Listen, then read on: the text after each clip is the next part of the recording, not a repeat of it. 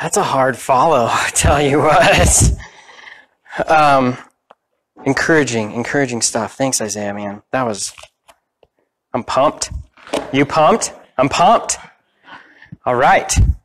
Um, I wanted to share with you um, some, uh, uh, uh, all right, one silly thing from your pastor.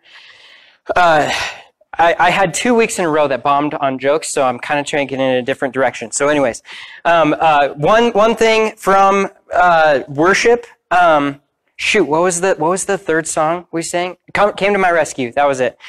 If you've ever, uh, this happens to me quite often during worship. I'm like, man, you know what would what would do this song a lot of good? Uh, a big drum kit and uh, distorted guitars and um, some headbanging and long hair. And if you've ever thought to yourself, man, Came to My Rescue would sound good, just like I described, there is a song out there. There's a band called The Great Commission who did a rendition of Came to My Rescue that is uh, we'll, we'll, just call it the, the rock and roll version. And uh, if you're interested in that kind of thing like I am, look them up. The Great Commission came to my rescue. You won't be disappointed. I also, so two things uh, to uh, give you note of this week. Um, some good news on the radar that you probably didn't hear about. Um, our president, President Trump, uh, signed a, a, Born Alive executive order um, pr- protecting um, uh, children who are born alive uh, due to like a, a botched abortion. And so the Born Alive executive order basically says that they're um, guaranteed to then be granted medical care at that point in their life. So, so some good news, some exciting things you, you probably didn't hear about. Also, on a more local note, if you are interested at all in getting involved, I know that our church feed has been blowing up with just our ranching community and everyone just just looking help and helping each other out and like um, doing a lot of stuff to to get animals out and evacuate families and all of that. If you're interested at all in donating to the uh, Mullen Fire, just firefighters and and things, uh, j- just to just to support. If you're like, man, I don't have time, but I but but I have some some spare money, I could I could dump some supplies off. Um, this information here, if you like Google or search Mullen Fire, there there's a group that that is just putting information on how to help and what they need and whatever. But, but this was kind of like the tangible thing that I found.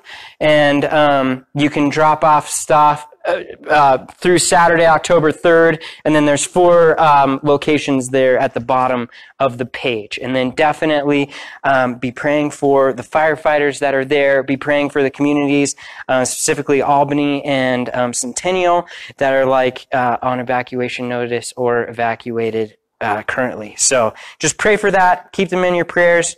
Pray for rain. Um, pray for endurance for the firefighters. That's kind of the the only things I have for you. To, yeah, helpful helpful hints, helpful things going on. Um, good news. Anyways, we are going to be resuming our study in Mark chapter twelve. Um, looking at, we're going to be, be looking at verses 18 through 27 today. And I'm going to pray for us and we will um, jump in at that point. So, Lord Jesus, thank you for this morning. Lord, I thank you for uh, just the, the gift of worship, being able to be in your presence this morning.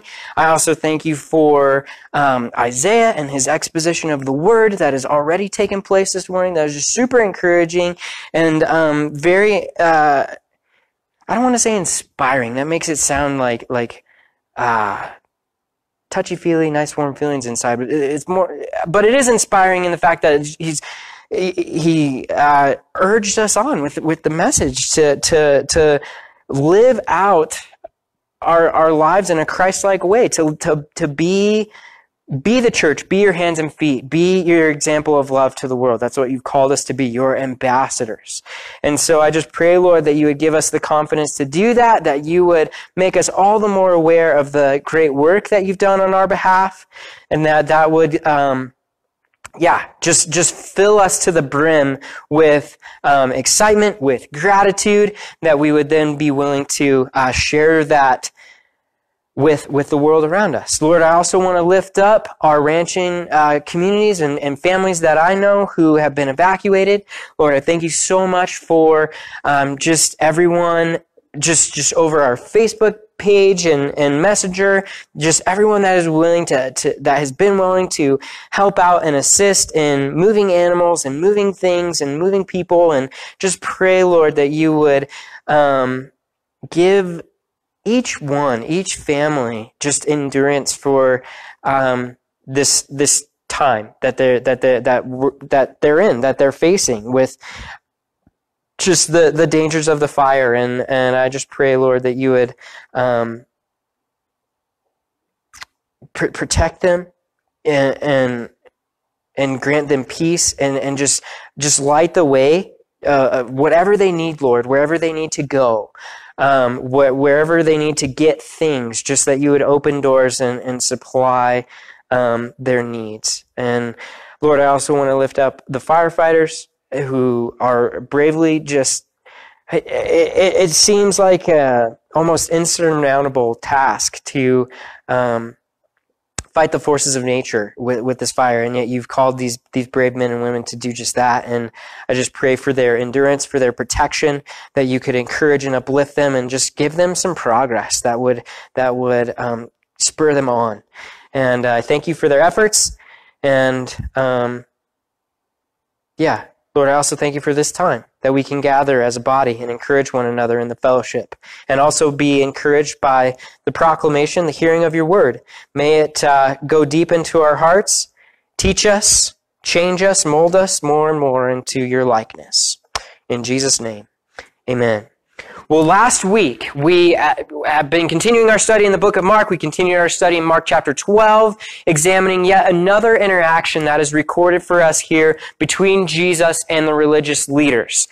Um, this, this crew we see in confrontation with Jesus last week, they're an unlikely team when we considered their backgrounds, the, the Pharisees and the Herodians, one being motivated by their hardcore religious background and the other being uh, politically motivated. And yet we see both of these groups come in partnership against a common enemy, which was Jesus. And they are willing to apply that old adage, that the enemy of my enemy is my friend and join forces against their common enemy, like I said, who was Jesus, who was making moves and making waves in the community. He was stealing their thunder, as it were, and gaining popularity among the people. So they weren't happy about it. They're driven by jealousy. And so they confront Jesus. And that's what we see in this whole section from where we picked up at the end of Mark 11 in verse 27 and on through now um, chapter 12. A lot of time is given to these interactions between Jesus and the religious leaders in Jerusalem. And Jesus, we see last week, he, he skillfully and tactfully navigates their inquiry as kind of their goal is to catch Jesus in his words. We see in verse 13 by asking him a question regarding taxes. And Jesus tactfully answers their inquiry by putting the issues in their proper place. The kingdom of God as primary with the realm of politics and the way of the world falling below that. Alistair Begg observes, if you like, we might say that Jesus is here putting politics in its place, putting an understanding of one's responsibility to the state within the ultimate understanding of one's responsibility to God.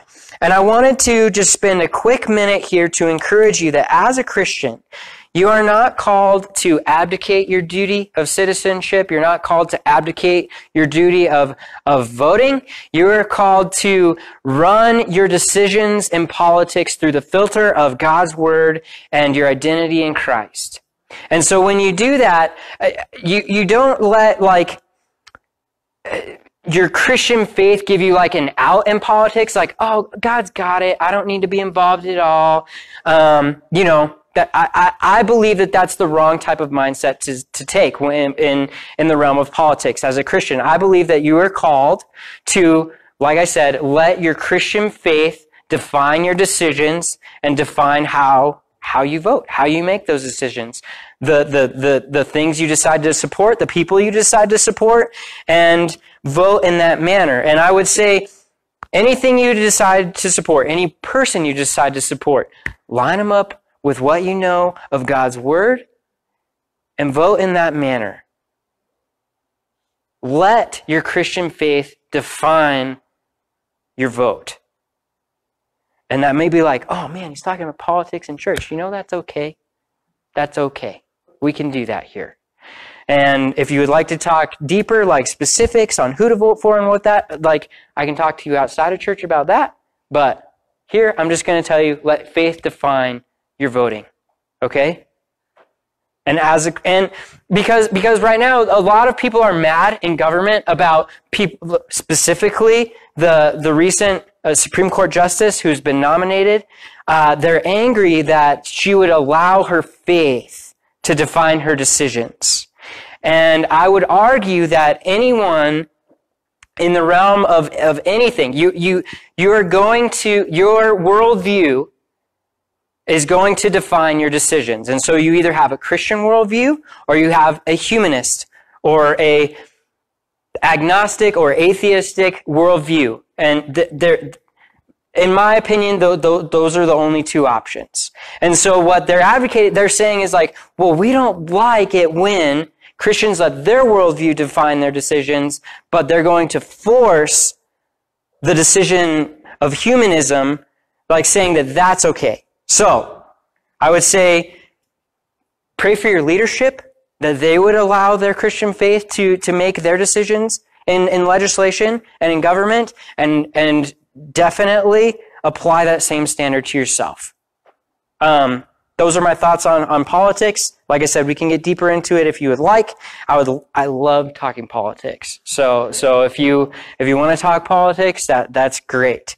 Um, and I would love to do that preferably like over lunch, over coffee, something like like like as long as there's food or, or something involved that makes it a little bit more comfortable, right?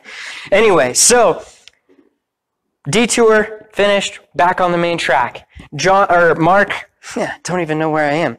Uh, Mark, uh, verse uh, chapter twelve, verses eighteen through twenty-seven. Um, we see here Jesus faces yet again another test from the religious leadership, this time coming from a group known as the Sadducees. And this is a thought-provoking observation from Gino Geraci. He says, during the Passover, the religious leaders would examine the lamb to determine whether or not it constituted a suitable sacrifice. The lamb must be perfect. We read in 1 Peter 1, 18 through 19. And the religious leaders continue their examination of Jesus. Which if you just give your, give your mind a moment to just kind of like dwell on that thought, it's, it's such an amazing thought that Jesus being the Lamb of God who takes away the sins of the world, who is going to be the Passover Lamb, the one who is sacrificed on behalf of the sins of the world, is facing scrutiny and examination here from the religious leaders.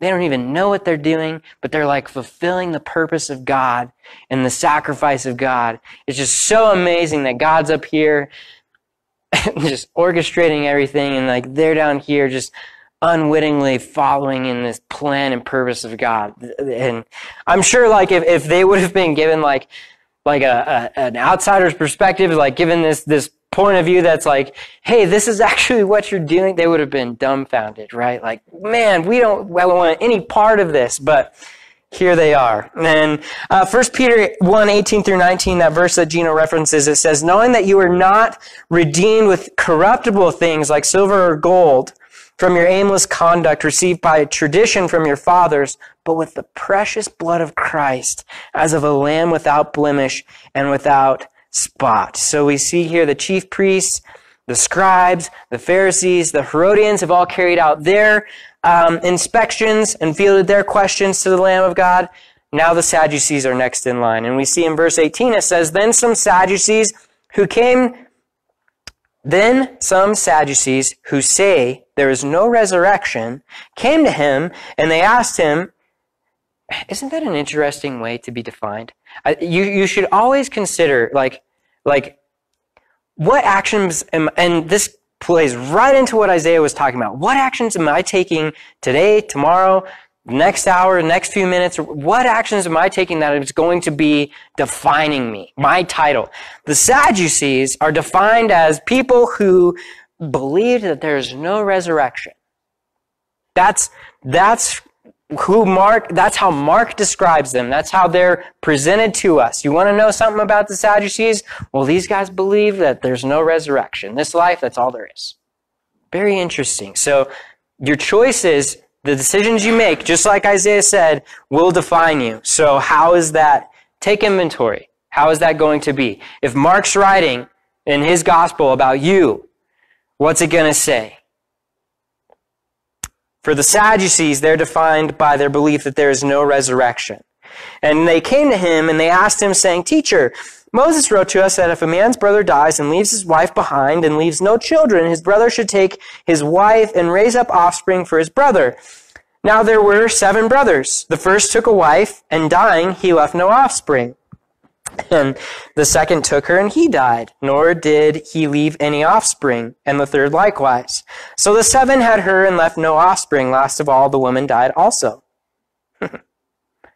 no kidding. Therefore, in the resurrection, when they rise, whose wife will she be? For all seven had her as a wife. Jesus answered and said to them, Are you not therefore mistaken? Because you do not know the scriptures nor the power of God. For when they rise from the dead, they neither marry nor are given in marriage, but are like an angel, are like angels in heaven. But concerning the dead, that they rise, have you not read in the book of Moses, in the burning bush, in the burning bush passage, how God spoke to him saying, I am the God of Abraham, the God of Isaac, and the God of Jacob. He is not the God of the dead, but the God of the living. You are therefore mistaken. Mistaken. This is the, as we read this passage and we see these Sadducees come like a blip on the radar screen because this is the first and last time that the Sadducees are mentioned in Mark's gospel. Well, who are they? Well, first off, the Sadducees were descendants of a ruling class of priests from the time of the Maccabean revolt a few generations earlier.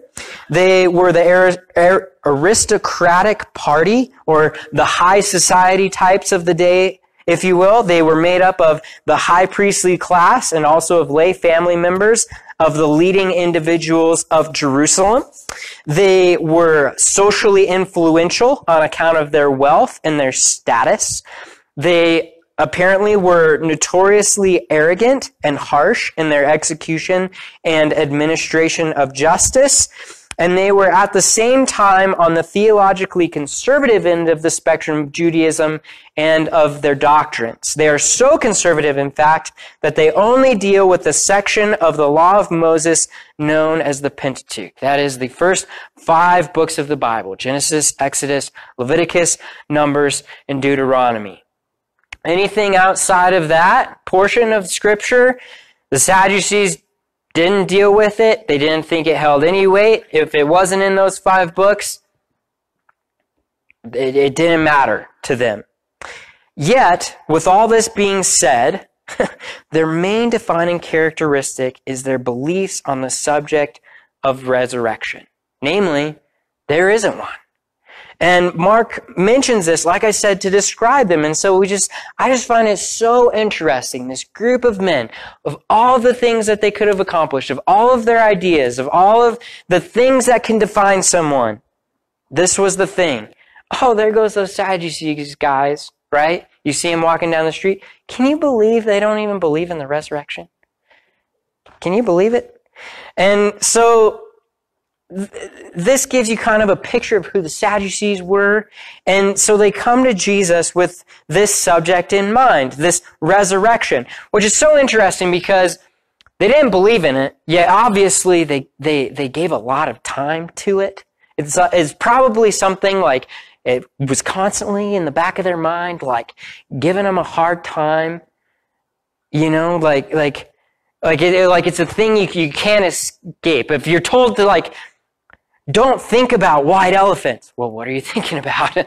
white elephants, right? It's like they were, there was like that with, with the Sadducees. Hey, we don't believe in the resurrection. We don't, we don't think about the resurrection. Well, come to find out, it was, it took up a lot of their time and, and, and thought process, right? And so they come with this subject in mind, again with the intention of either disproving Jesus' teaching or catching him in his words, or maybe it was an a, attempt to uh, elevate their own stock with the people. Whatever it was, they come to Jesus. Maybe they're in this group. They've seen the other groups of religious leaders try their hands at dialogue with Jesus, and now maybe they can find success where their colleagues could not. Maybe this is their mindset. Hey, everyone's tried and failed so far. We've got the thing that we think can knock Jesus off course. And in order to do this, they put together this insane hypothetical story based off of a passage from the book of Deuteronomy. Now, before we delve into their story, I think that it's important we should first look uh, in interest of context and knowing kind of what they're talking about, what we're talking about, and looking at. Um, I think it's important. We'll turn to Deuteronomy 25, where they actually uh, pick up this this doctrine. Uh, Deuteronomy 25, verse 5 tells us if brothers dwell together and one of them dies and has no son, the widow of the dead man shall not be married to a stranger outside the family. Her husband's brother shall go in to her, take her as his wife, and perform the duty of a husband's brother to her. And it shall be that the firstborn son which he bears will succeed to the name of his dead brother, and his name may not be that his name may not be blotted out of Israel. But if the man does not want to take his brother's wife, then let his brother's wife go up to the gate to the elders and say, My husband's brother refuses to raise up a name to his brother in Israel. He will not perform the duty of my husband's brother. Then the elders of his city shall call him and speak to him. But if he stands firm and says, I do not want to take her, then his brother's wife shall come to him in the presence of the elders, remove his sandal from his foot, spit in his face, and answer and say, So shall it be done to the man who will not build up his brother's house, and his name shall be called in Israel. It's a very unique name, uh, the house of him who had his sandal removed.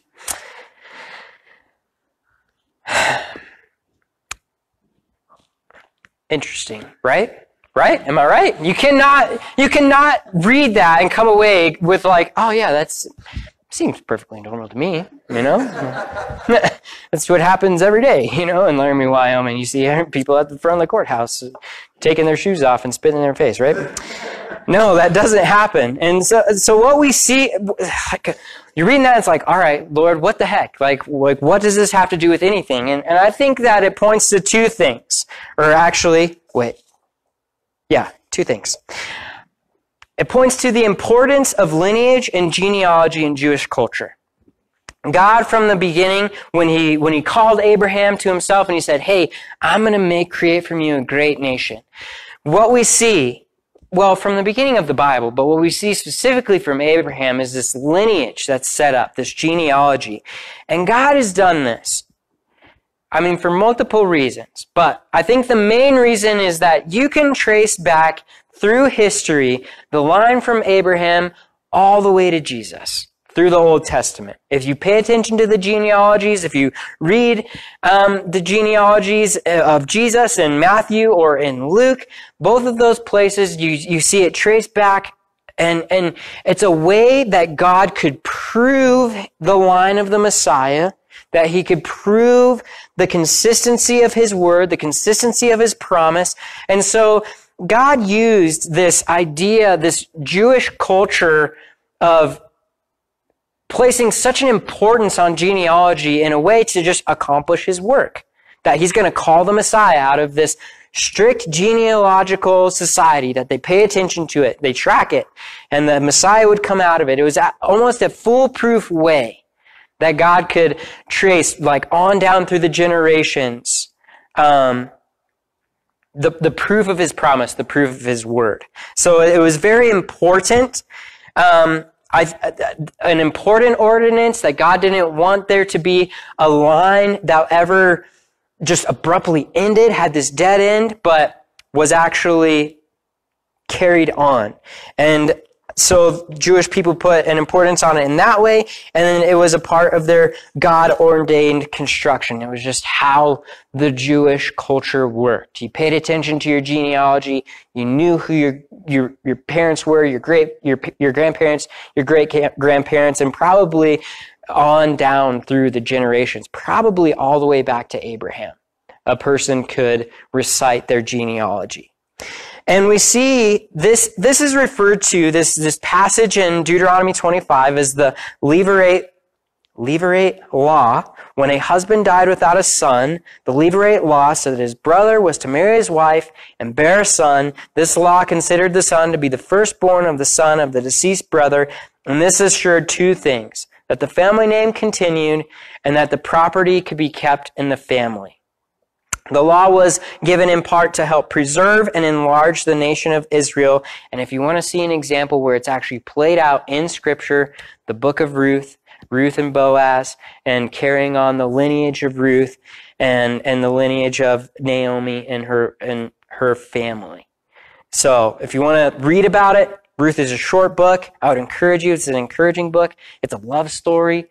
It also has some strange things that happen in it, but it, but it's a great book.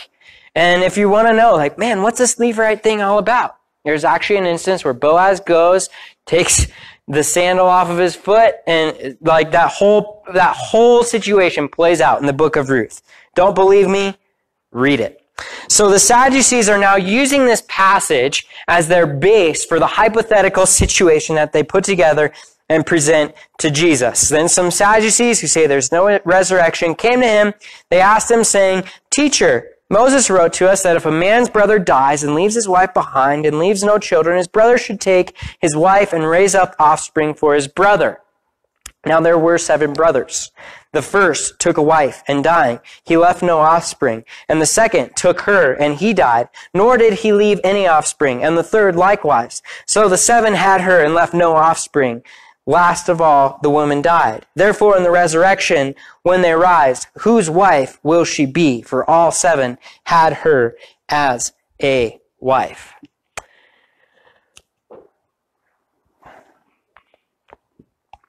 Hydrate or die. All right. Um, so, just a couple couple things I want to throw out there at you. Um, number one, are you thankful that you are not in my shoes this morning, teaching on this passage? Um, what do you What do you do with it? you know, uh, in, in all honesty, like this is. If, if you want to talk about hard sayings of Jesus, is stuff that is like, how do what, like I said, what, what do I do with it? What do we, what do we do with it? Um, this definitely has to fall in that category right? And um, second, as you read through this, I don't know about you, but uh, Lemony Snicket's A Series of Unfortunate Events came to mind. It's like, like this family, like there's one thing after another. I mean, we, we like, the Sadducees didn't go into great detail about how everybody died, but I'm sure it was like, I mean, it's tragic, right? And the, so we, we see the Sadducees piece together one of the most unlikely, preposterous, and inconceivable illustrations of all time in order to attempt, in order to like put together an attempt at uh, disproving or proving their beliefs in regards to the afterlife or eternity. Basically, like, there isn't one. And because, as I've mentioned earlier, and as Mark is quick to point out, as helpful commentary, the Sadducees did not believe in the realm or the reality of eternity or an eternal spiritual existence after death. Their belief lay solely in the physical here and now, with nothing lying beyond this life. And so we're now faced with the daunting task of trying to make some sort of sense out of this inconceivable, hypothetical story that Jesus is presented with by the Sadducees. And in order to do this, I think it will be helpful to just point out three things to notice, and we'll focus on these three things.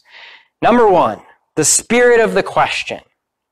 which it, it takes a little bit of like imagination, but I don't think it's like out there crazy imagination. It's not unfounded. So the spirit of the question, and I think the spirit of the question is with a mocking or sarcastic, sarcastic attitude.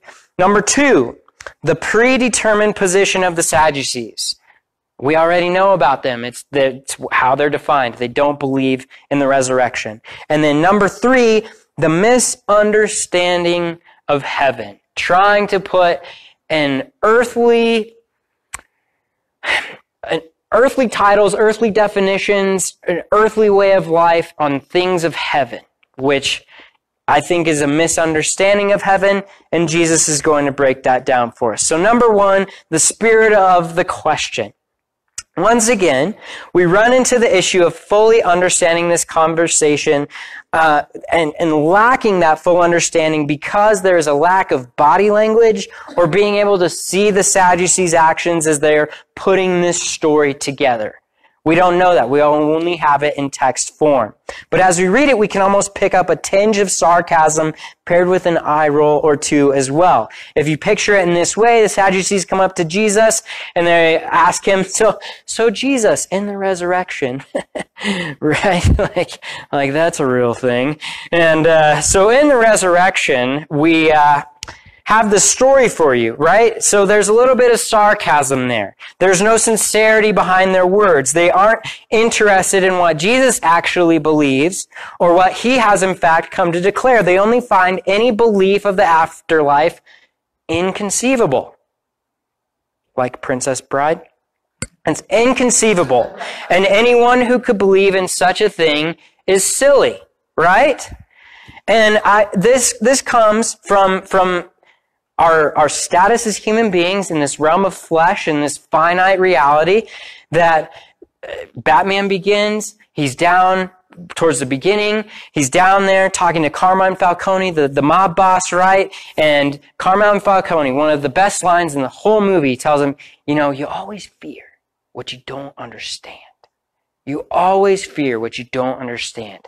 And I think that the Sadducees are coming from this place of fear not understanding what the resurrection, what eternity actually looks like. They don't understand it. They, they don't really want to understand it. And so they're afraid of it. And so instead of actually like harnessing that fear,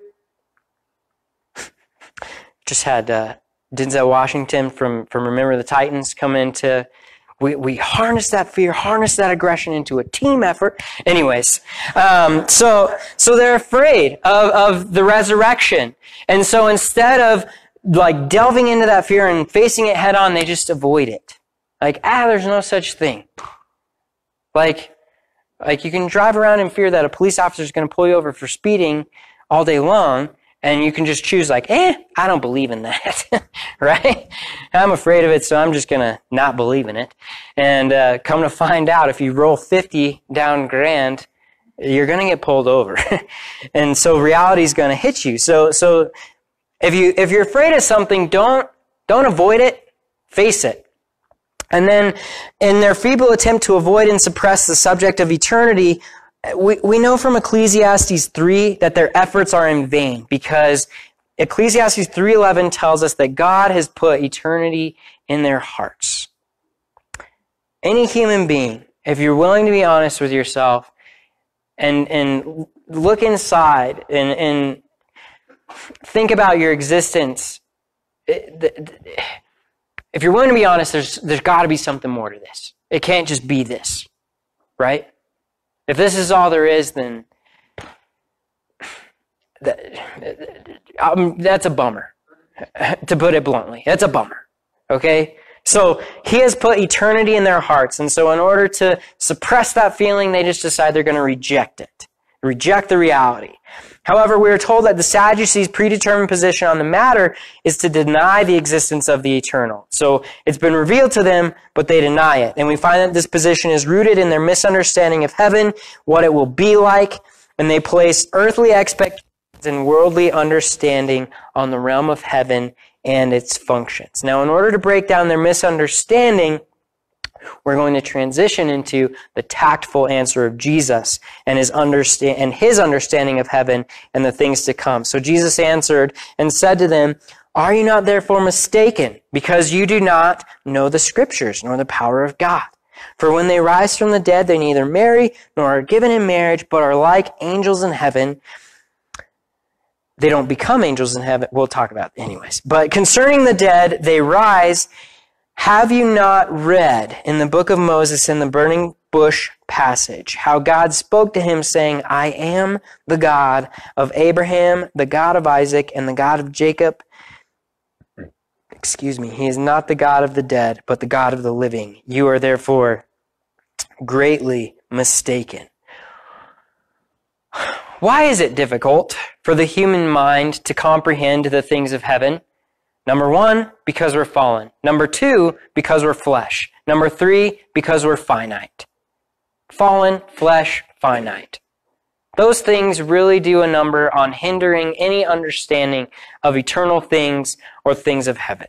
We're fallen, we're fleshly, we're finite. But we've given we've been given ample detail and information regarding the subject of our eternal home. I just want to share three quick passages with you on the subject of heaven. 1 Corinthians 2 9 through 10, Paul writes, but as it is written, eye has not seen, nor ear heard, nor have entered into the heart of man the things which God has prepared for those who love him. But God has revealed them to us through his Spirit. For the Spirit searches all things, yes, the deep things of God. 2 Peter 3.13 tells us, Nevertheless, we, according to his promise, look for new heavens and a new earth in which righteousness dwells. I am pumped on that verse because there is a lot of unrighteousness and injustice happening in the world. And I am stoked to live in the land of promise, that place of the heavenly shores where righteousness dwells, where that's like the de- defining factor of heaven. That God is there, Jesus is there, judging rightly and righteously. I am pumped on that. Because our world is unrighteous and unjust and just unbearable at the moment. And to be where righteousness dwells, that's going to be exciting. Anyways, and then 1 Corinthians, coming back to Paul, 1 Corinthians 15:50. Now this I say, brethren, that flesh and blood cannot inherit the kingdom of God, nor does corruption inherit incorruption. And I think this is where the Sadducees were getting tripped up because they were trying to put flesh and blood into a realm of spirit and truth. And you, it, it doesn't go there.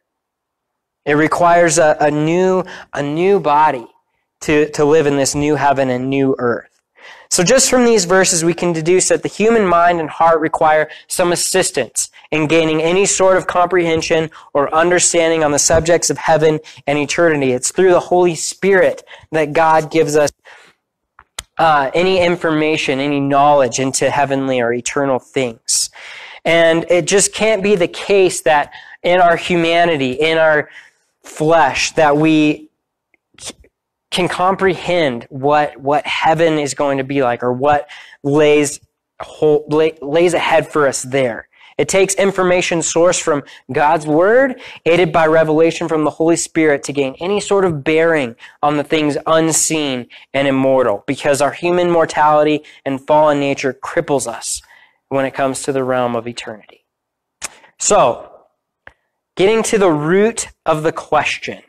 Jesus does this. He gets to the root of the question, letting the Sadducees know that, hey, I don't know where you got your information from, but in fact, you are mistaken and you lack understanding. The root of the question, although the Sadducees frame it in a way you would think it is marriage and eternity, the root of the question rather is a lack of understanding of Scripture and a lack of understanding of the power of God. Alistair Begg uh, observes, Jesus says, you know what your problem probably is? You don't know the Bible. You don't know the scriptures. And you don't know the power of God. If you knew the scriptures, you would know not to ask this question. If you knew the power of God, you would realize that in the purposes of God, there are dimensions that we have not yet seen, but into which we will inevitably enter. So Jesus breaks down their inquiry, in, breaks down their inquiry piece by piece. First, marriage. Jesus tells us they neither marry nor are given in marriage. And this may be a hard word to receive. Marriage is a joy here on earth. And especially as a man, I love being married to my wife. I love marriage as the institution. All of it. I love it. All of it. How God set it up, the blessing He, he gives us uh, in, in wives and husbands. It's amazing. But marriage, I, I define marriage in this way. Marriage is a heavenly institution with an earthly ordinance. A heavenly institution with an earthly ordinance. Because in Genesis, when God sets it up, the earthly ordinance, he tells uh, Adam and Eve, be fruitful and multiply, fill the earth in Genesis 1.28. And then he reiterates this command to Noah in Genesis 9.1, telling him, hey, be fruitful and multiply, fill the earth. There's an earthly ordinance from God in regards to marriage. And if we examine marriage in this way, there will be no need for marriage in the heavenly kingdom because there will be no procreation there, no need to raise up the next generation. Yes, yes, we're getting there as well. Uh, there will be a new marriage relationship established between the bridegroom, Jesus, and the church, his bride. So that relationship will take precedence over any earthly relationships that we have here. So that's kind of the, the realm of marriage, how it's, how it's we have the earthly ordinance, and then we also have the heavenly reality that Jesus is the bridegroom, the church is his bride, and that relationship is going to be established at the great supper of the Lamb. And then second, angels. An added dig by Jesus, I think, that because if the Sadducees didn't believe in the existence of, of the resurrection, they obviously didn't believe in the existence of supernatural beings either. So Jesus is like, oh, by the way, angels. Uh, we'll talk about them too. And I wanted to note we won't become angels, but we will be like angels. And I think this guy, Ivor Powell, short sentence that gives us insight into what this means. He says, the redeemed will be as angels, seeing and serving and praising God. We won't be angels, but we will be like angels in that we practice these things. We, we get to witness God in His, and His glory. We get to serve Him and praise Him in eternity. And Jesus lets the Sadducees know that, that the dead do in fact rise, that the resurrection life is different from what we know here on earth, and that our existence and relationships will be different as well. Our bodies will be better, and our relationships richer, unhindered, and unencumbered by sin. Gino Geraci lists the benefits and differences, saying, what does this text and others in the Bible allow us to think about the eternal state? Our future life and relationships will not be less, but more. Future life and eternal life will be like, like that which is experienced by the angels. Heavenly life and relationships in that life will be perfect. Our relationships in this life will not cease, but they will be changed, perfected, untainted by selfishness and sin, bitter and resentment, foolishness and prejudice and pride. Our love will be perfected, and therefore we will treat each other in the perfection of Christ's love. A wife will not be loved imperfectly. A son or daughter will not be loved imperfectly. God will change all relations into perfection, even as the relationship between God and his holy angels are absolutely perfect. Heavenly life and relationships will be pure, perfect, and eternal. So now that Jesus has cleared up the, the clutter and misunderstanding of heaven and eternity, he now moves to cement his argument on the basis of God's word, inciting a passage from the Sadducees' own respected scriptures, no less. And this passage is God introducing himself to Moses through the burning bush. In Exodus 3 6, it says, Moreover, he said, I am the God of your father, the God of Abraham, the God of Isaac, and the God of Jacob. Jesus here takes a stand on the authority of Scripture, standing for the truth, and not allowing the Sadducees the luxury of tolerance. Rather, he lets them know, hey, you are mistaken in there, you are mistaken in your thinking. And then he uses scripture to point them to the truth. And to break it down, I thought David Guzik's observation was simple and concise, and it really shed some light on how this applies. He, he observes if Abraham, Isaac, and Jacob did not continue to live, God would not say that he is their God, speaking in the present tense. He would have said that he was their God. Therefore, the scriptures proved there is a resurrection of the dead. And I would encourage you. So this week I had the opportunity to sit down with uh, some Mormon friends, um, Mormon elders, we'll call them, because that's what they refer to themselves as. I wouldn't say that they're friends. I only know them by their last names. Um, but anyways, um, sat down with them and, and any strategy you have of, of witnessing to someone, of talking to someone about the things of Jesus, talking to them about the gospel, you have to come back to the authority of God's word. If you're going to come up with your own idea, like, like man is fallible, all our ideas are fallible, but the word of God is living and active, sharper than any two-edged sword. It cuts to the, the division of the joints and marrow. It, it's, it's eternal. It's God's word. It's been consistent from beginning to end. It's unchanging, just as God is unchanging. And so if you're going to proclaim the gospel, if you're going to take a stand on authority, you have to take a stand on the authority of God's word. It has to be your foundation, your firm foundation. That parable where Jesus talks about the man who builds his house on the rock versus the man who builds his house on the sand. The rock of your foundation of your faith is God's word. If you're building your foundation on any other, any other source, any other foundation, all other ground is sinking sand. All other ground is sinking sand. So, build your foundation on the Word of God, this is your authority. And speak from that authority. Use it. Wield it. It's a sword. Use it. Use it. 2 Timothy 3, 16 through 17, Paul writes to Timothy, All scripture is given by inspiration of God and is profitable for doctrine, for reproof, for correction, for instruction in righteousness, what the man of God, that the man of God or woman of God may be complete, thoroughly equipped for every good work. The authority of God's word, the authority of scripture is what Jesus goes back to. Jesus could have spoke on the authority of himself. He's the word. He is the word. And he could have been like, I say this. I declare it. But he goes back to the scripture, goes back to their scripture no less, and uses that as his authority to refute their claims.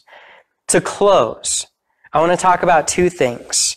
The importance of scripture and the importance of, of the resurrection, and this is going to go quick.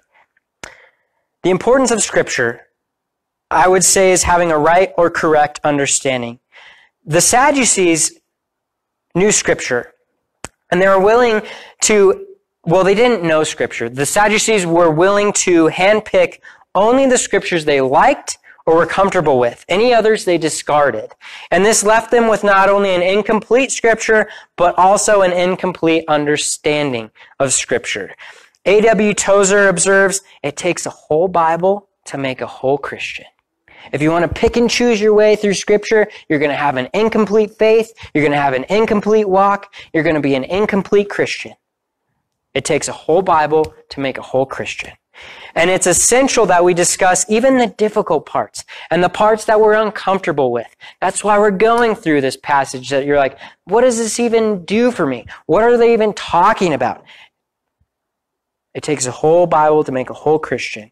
There are two errors the Christian should avoid at all costs when studying the Bible. Selective study, sticking to what you know or what's nice or what's comfortable. Don't do that. And number two, rejective study, rejecting the things that are uncomfortable or we disagree with. Like, oh, God says that marriage is, is only between a man and a woman, but I'm uncomfortable with that because culture is adamantly against that. Like, make your stand on God's word, let it define your terms, let it define your morality, and let the rest of the world go where it may. The world is going to shift and change. The word of God is not. Stick to it. Stick to it. Don't be selective. Don't be rejective in your study of the Word. If we fall into this trap, we find ourselves in the position of sharing company with the Sadducees when we're unable, and then we find ourselves in a place where we're unable to experience the power of God in our lives, and we will find both our understanding of God and our relationship with Him incomplete and lacking. Matthew Henry observes, note, a right knowledge of the scripture as the fountain whence all revealed religion now flows. Revealed religion now flows. And the foundation on which it is built is the best preservative against error. Keep the truth, the scripture truth, and it shall keep thee. Keep the truth, the scripture truth, and it shall keep thee. So that covers the importance of rightly understanding scripture in the life of the believer. And to add to that, the importance of the resurrection. Matthew Henry writes, again, upon the whole matter, he concludes, Ye therefore do greatly err. Those that deny the resurrection greatly err and ought to be told so. Paul writes in regard to this matter in 1 Corinthians 15. I would encourage you for homework for this week to read the whole of 1 Corinthians 15. If you're curious about the resurrection, if you're curious about heaven, what it'll be like, it's a great summary chapter to get more information on what it will be like and what the resurrection means for the Christian. Starting in verse 12, Paul says, Now if Christ is preached that he has been raised from the dead, how do some among you say that there is no resurrection of the dead? But if there is no resurrection of the dead, then Christ is not risen. And if Christ is not risen, then our preaching is empty and your faith is also empty. Yes, and we are found false witnesses of God because we have testified of God that he raised up Christ, whom he did not raise up if in fact the dead do not rise. For if the dead do not rise, then Christ is not risen. And if Christ is not risen, and this feels like a uh, Dr. Seuss poem, right? Um, for if the dead do not rise, then Christ is not risen. If Christ is not risen, your faith is futile. If you are still, and you are still in your sins. Then also those who have fallen asleep, asleep in Christ have perished. If in this life only we have hope in Christ, we are of all men the most pitiable. The certainty of our faith hinges on the reality of Christ's resurrection. and Paul goes through, and this is why I would encourage you to read 1 Corinthians 15. He goes through a bunch of eyewitness accounts, talks about his own eyewitness account of Jesus' resurrection and his seeing him in his resurrected body. And so we, you can be encouraged by that record of the eyewitness accounts the certainty of our faith hinges on the reality of Christ's resurrection as declared in the scripture. Without it, what is life worth? Paul says, nothing. Nothing. What's it for? What are we doing here? It's all meaningless. It's all worthless. To close, I borrowed a few more insights from David Guzik regarding the subject of the resurrection and its simple, central importance in the life of the Christian and wanted to close with his findings. He observes, if Christ is not risen, your faith is futile. You are still in your sins. We can follow Paul's logic point by point. If there is no principle of resurrection, then Jesus did not rise from the dead. If Jesus did not rise from the dead, then death has power over him and defeated him. If death has power over Jesus, he is not God. If Jesus is not God, he cannot offer a complete sacrifice for sins. If Jesus cannot offer a complete sacrifice for sins, our sins are not completely paid for before God. If my sins are not completely, completely paid for before God, then I am still in my sins. Therefore, if Jesus is not risen, he is unable to save. When you know, he continues, when you know what rests on the resurrection, you know why, if in this life only we have hope in Christ, we are of all men the most pitiable. First, the divinity of Jesus rests on the resurrection of Jesus. Romans 1 4. The sovereignty of Jesus rests on the resurrection of Jesus. Romans 14, 9. Our justification rests on the resurrection of Jesus. Romans 4.25. Our regeneration rests on the resurrection of Jesus. 1 Peter 1 3. And our ultimate resurrection rests on the resurrection of Jesus. Do not fall into the mindset of the Pharisees that You only have hope in this life only. You don't know anything about the resurrection because it's foreign. It is not foreign. God has given us ample information on the reality of, of the resurrection, the reality of eternity, the reality of heaven and our heavenly home. You can study the rest of your life, if you wanted to, about its reality, what it means for you as a Christian. It's, it's a promise that God has made and He God keeps his word. If you, if you study scripture, that's the consistent theme of it. God keeps his word every single time. If God said it, it will come to pass. Eternity is waiting.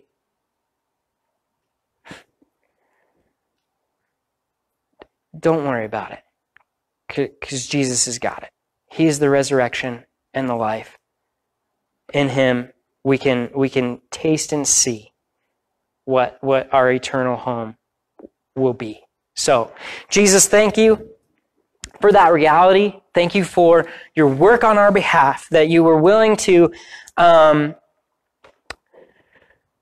do away with your, not to do away, to, to put aside your heavenly existence, your exalted nature, and taking the form of a man, you, the Word, it tells us in, in John 1 that the Word became flesh and dwelt among us, and it declared, it has declared the, the, the Father to us. You have declared the Father to us. We know God because of you. You took God as, as an idea. Oh, uh, God is spirit and became flesh, and you made it tangible for us. So I thank you for that. And Lord, I thank you for your willingness to engage on hard topics. And I pray, Lord, that as your people, following in your example, we would not shrink away from hard topics and hard discussions, but that we could uh, take confidence in your word as our authority and speak from that authority in regards to, to the hot topics of the, of the day or the, the hard discussions of the day. And Lord, there would be a lot less tumultuous happenings in the world if your church would just stand up and declare the truth of your word. That all men are created in, in the image of God. Therefore, racism is silly. I feel like that's the hot topic of the day. And, and, and all, all, all of humanity bears the image of God.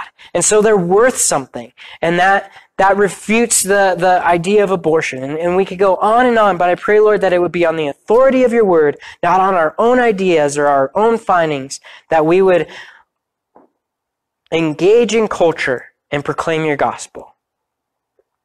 The good news of your coming.